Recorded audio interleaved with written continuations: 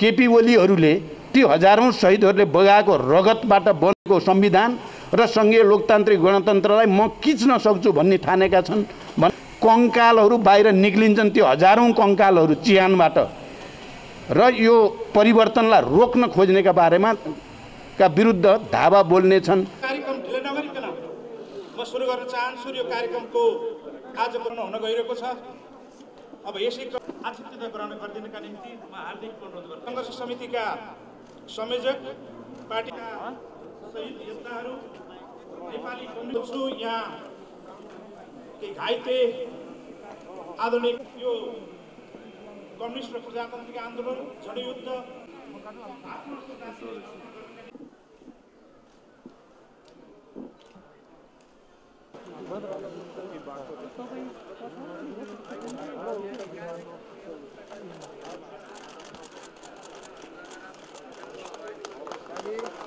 आज हामी जुन आन्दोलन गर्छौँ त्यो आन्दोलन राख्न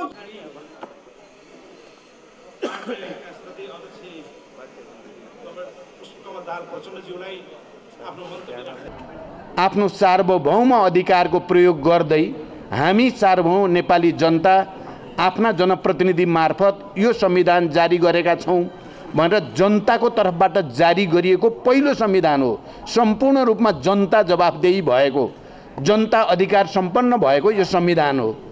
आज त्यही संविधानमाथि घात गरिएको छ। प्रधानमन्त्रीको तर्फबाट सरकारको तर्फबाट।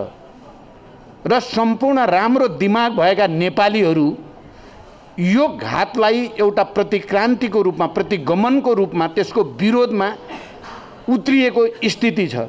हामी त्यस्तो बेलामा आज फागुन एक गते हामी शहीदहरूलाई सम्झिँदैछौँ।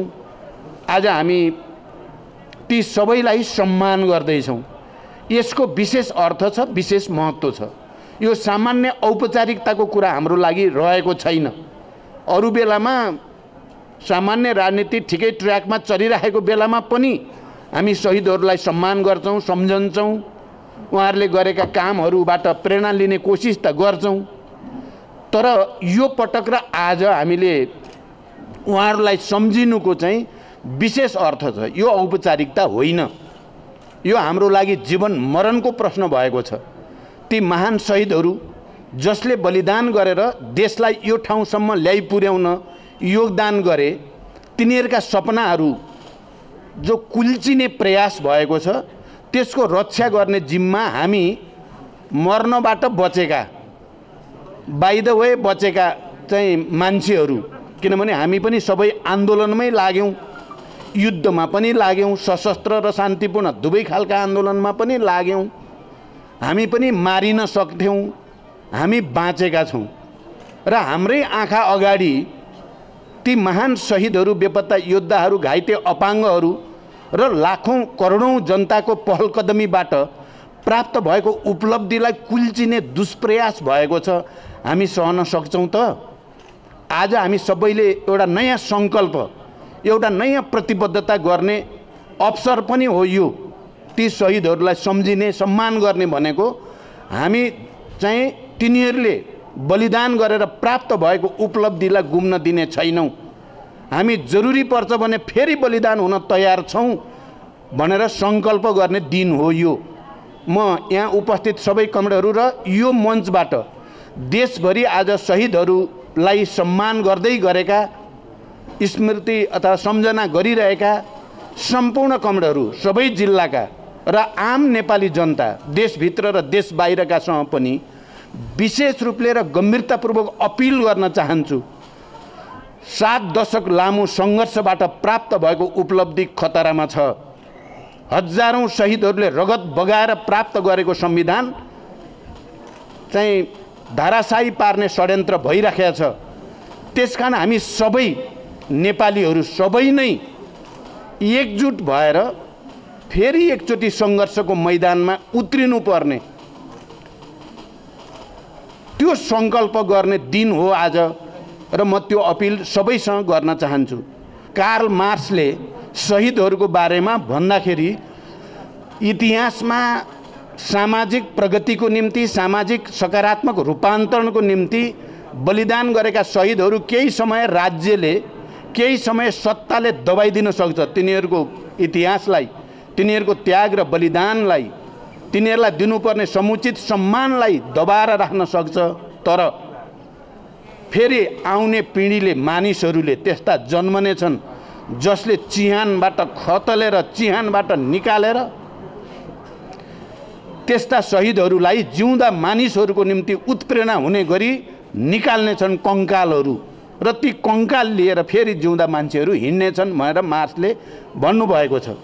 अहिले पनि चाहे हिजोका ऐतिहासिक आन्दोलनका क्रममा गङ्गालालहरूदेखि त्योभन्दा अगाडि लखन थापादेखि अझ त्योभन्दा अगाडि पनि हामीले जति सक्छौँ ती शहीदहरूलाई लिनु नै पर्छ। अहिले यहाँसम्म आउँदा हामी युद्धलाई शान्तिमा रूपान्तरण गरेका छौँ। शान्तिलाई हामीले संविधान सभामा रूपान्तरण गऱ्यौँ। संविधान सभालाई सङ्घीय लोकतान्त्रिक गणतन्त्रमा रूपान्तरण गरौँ। सङ्घीय लोकतान्त्रिक गणतन्त्रभित्र कम्युनिस्ट आन्दोलनलाई एकताबद्ध गर्ने र देशमा राजनीतिक स्थायित्व र विकासतिर लैजाने जमर्को गऱ्यौँ तर अहिले त्यही ऐतिहासिक जमर्को माथि त्यही ऐतिहासिक पहलकदमीमाथि प्रहार भएको छ। दक्षिणपन्थी कित्ताबाट प्रतिक्रान्तिकारी कित्ताबाट त्यसकारण आज हामीले यो सङ्कल्प गर्दै गर्दा यो कुरालाई हेक्का राख्न जरुरी छ कि इतिहासका ती महान शहीदहरू कहिल्यै मर्ने छैनन्। कवियत्री पारिजातले शहीदहरूबारे लेख्नु भएको छ। शहीदहरू त कहाँ मर्दा रहेछन् र ती त झन् भित्ता भित्तामा नारा भएर चाहिँ हिँड्दा रहेछन् जुलुस भएर हिँड्दा रहेछन् भन्ने बडो मार्मिक कविता लेख्नु भएको छ। ती हजारौँ शहीदहरू मरे भन्ने यदि प्रतिक्रियावादी सत्ताधारीहरूले सोचेका छन् भने ती साह्रै ठुलो भ्रममा छन्। केपी ओलीहरूले ती हजारौँ शहीदहरूले बगाएको रगतबाट बनेको संविधान र सङ्घीय लोकतान्त्रिक गणतन्त्रलाई म किच्न सक्छु भन्ने ठानेका छन्। भने उनी साह्रै ठुलो भ्रममा छन्। उनी छिटै भ्रममुक्त हुँदा राम्रो हुन्छ भन्ने म सुझाव राख्न पनि चाहन्छु। नत्र भने कङ्कालहरू बाहिर निक्लिन्छन् त्यो हजारौँ कङ्कालहरू चिहानबाट र यो परिवर्तनलाई रोक्न खोज्नेका बारेमा का विरुद्ध धावा बोल्नेछन् म यही कुरा राख्दै र फेरि एकचोटि तमाम शहीदहरूप्रति उच्च सम्मान व्यक्त गर्दै र ती शहीदहरू जन्माउने आमा बुवा र परिवारजनहरूप्रति उच्च सम्मान प्रकट गर्दै बिदा हुन्छु। धन्यवाद। अभिवादन।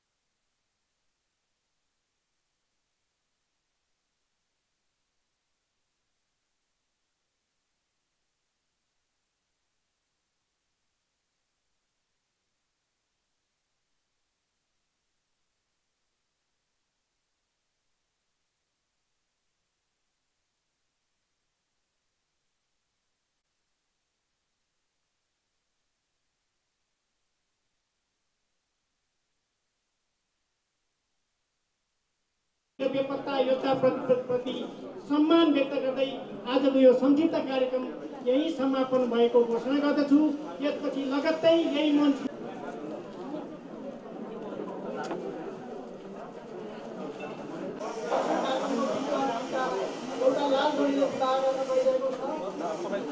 कङ्ग्रेस वीरेन्द्र सिंह र कङ्ग्रेस लक्ष्मी जोशीको